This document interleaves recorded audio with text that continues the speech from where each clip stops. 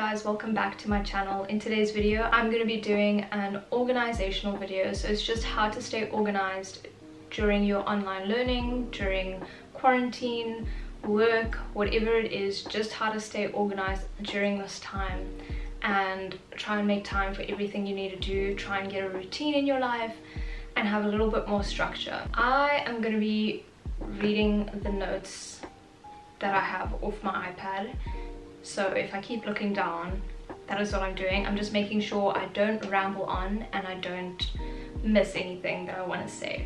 My first tip is to make a schedule and stick to it. You can either use your university or school schedule that you would have um, from last term or if they've given you a new schedule follow this new schedule like it makes more sense. Um, but if they haven't given you a new schedule try and make your own. So think about how many hours a week um, did you usually spend taking this class? My second tip is to set a designated workspace. Now I hadn't done this for like at least a month of online learning and I can't tell you how much it helps to just have a space where you just dedicate to work at it helps you be more productive, less lazy. Also keep your workspace very clean and uncluttered. It just helps you make sure you get your work done and so that you're not distracted by 10 other things on your desk. Also, I'm just a person who likes clean things and I can't work if something's not clean. My third tip is to plan. So, get yourself a planner. I use my iPad to plan um, I have GoodNotes 5 which has like planner spreads in there which I just literally so it's got a monthly spread, a daily spread and a weekly spread.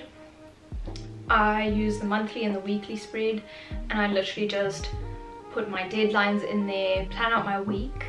So every Sunday I sit down and I plan out my week. I'll plan out my classes, I'll plan out what lectures I'm gonna watch, at what time, what I need to do, when am I gonna do my homework, what am I gonna get done throughout the week. Obviously things slightly shift and change as the week progresses but to have your like main things down of what you want to do during the week and then you can slot in those other little things that you might need to do when you get told about them it just it helps a lot so yeah there is plenty of ways that you can plan. You can literally just get any book and a pen and just make a monthly planner like just make like a whole calendar thing write your to-do list write a weekly like to-do thing. Um, there's also a whole bunch of free like digital planner things on the internet especially on pinterest and you can just download those files print them if you want keep them on your laptop your ipad whatever. And then you can literally just jot down everything you need to do and get done that week. I promise you planning helps so much. Like when i don't plan my stuff things just don't work out. Like i'll forget that i have to do something or I'll just find out about something on the day that it's due and it's just it's not fun. So just plan your stuff plan out when you're gonna do stuff and yeah it'll help you so so much. So on the topic of planning there's also some apps you can use um, if you so I personally use the calendar app that is just on your iPhone and reminders and notes and here is where so in the calendar I put like my timetable so I calendar block like okay I have this class today I have this lecture to watch etc and I also put my main deadlines in there.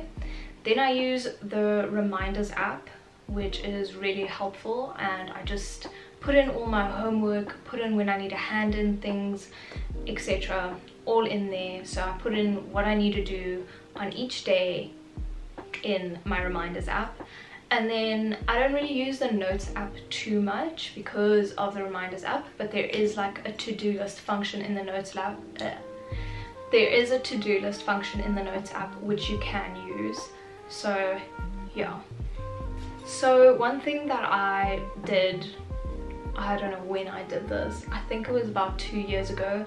I completely turned off all my notifications for all kinds of social media besides WhatsApp and messages and phone calls. Um, so I don't get any other notifications. I don't get Instagram, Facebook, Twitter, nothing. And honestly it's just so much better for your mental health or at least it was better for mine like I stopped going on to Instagram every time someone posted a photo every time this happened it was just so annoying and like every time someone would tweet something and they haven't tweeted in a long time. I don't need to know this. Like when I feel like using the app that's when I'll go to it. I don't need to be notified every five seconds that this is happening this is happening this is happening. Like it's just too much for my brain. I don't like it. So yeah. I just think it is a good tip because it limits your distractions. So not seeing a notification pop up, you're not to go to your phone and be on it. So obviously in the beginning, you're to be like, oh, but I'm missing this. Like this is unusual. Like I don't know what's going on. But then you slowly start to phase out of it and you honestly won't be on your phone that much unless you actually consciously want to go onto Instagram or go onto Facebook or whatever um, so yeah limit your distractions or at least try to another thing i want to mention is um, i use study buddy so i mentioned this in my what's on my iphone and actually it's not that great like it doesn't help. Like you can exit the app and the timer will still be going.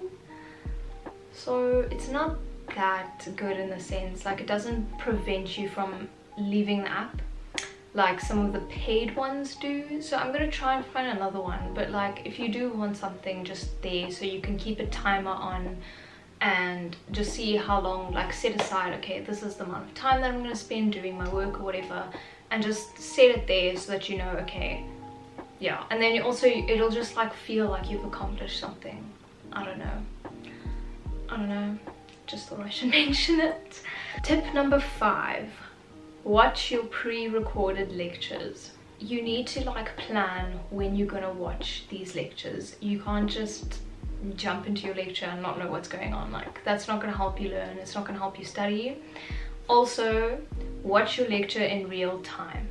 Firstly it's just gonna save you a hell of a lot of time than you rewinding and rewatching and rewinding and rewatching. Like don't do that to yourself. You would never be able to do that in real life so don't do it at home.